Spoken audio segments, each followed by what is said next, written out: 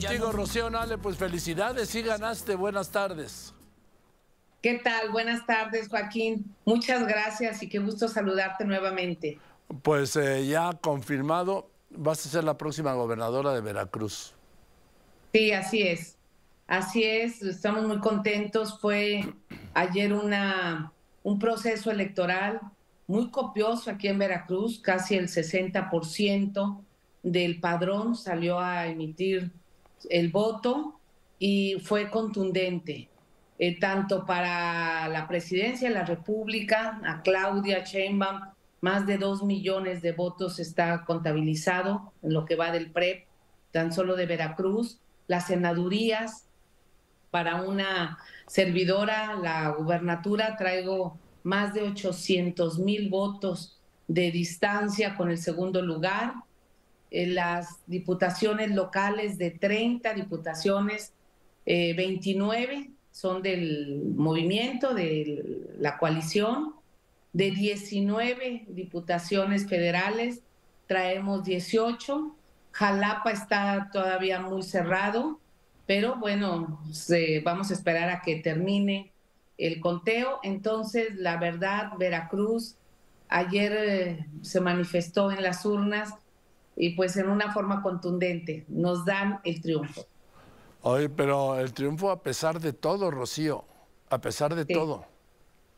Fíjate que si yo ayer decía que Veracruz está dando una lección, yo creo, a México.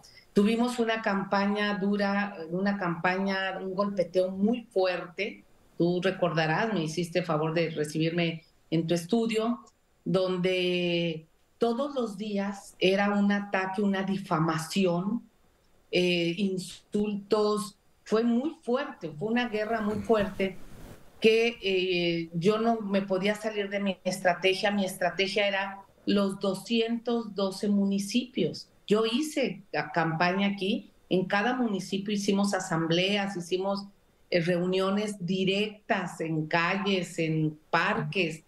Entonces nosotros delineamos esa estrategia, los opositores con una estrategia eh, muy fuerte de golpeteo, de, difamaciones, y ayer Veracruz sale y da una lección a todo el país.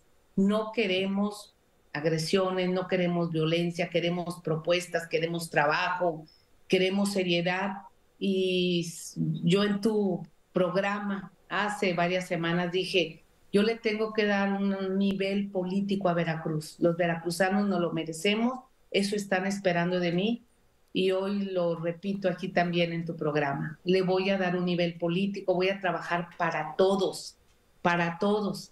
Ya tengo un proyecto de mucho trabajo, tengo mucho trabajo y van a ser seis años muy intensos. Vas a ser, según yo recuerdo, la primera gobernadora de Veracruz. Sí, así es.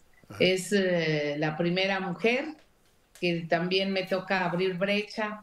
Fíjate que fui la primera diputada de Morena, la primera eh, coordinadora del primer grupo parlamentario de Morena.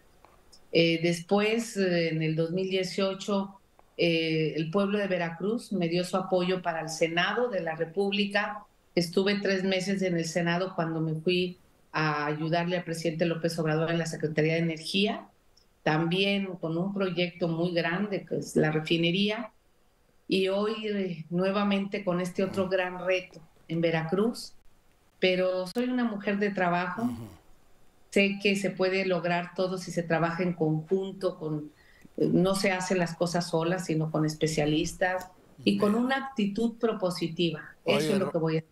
Rocío, ¿cuándo vienes? Yo espero que después de que el organismo electoral me entregue la constancia, voy y si me invitas, con mucho gusto voy a tu estudio. Aquí nos vemos, de una vez ya lo cerramos, ¿ok? Claro que sí. Y muchísimas gracias, gracias y pues pronto nos vemos allá para saludarte. Venga, Rocío, y muchas felicidades, Rocío Nale, la próxima, la primera gobernadora mujer del estado de Veracruz, ahí para dejarlo como un dato. Gracias, Rocío Nale. Bien, eso es todo.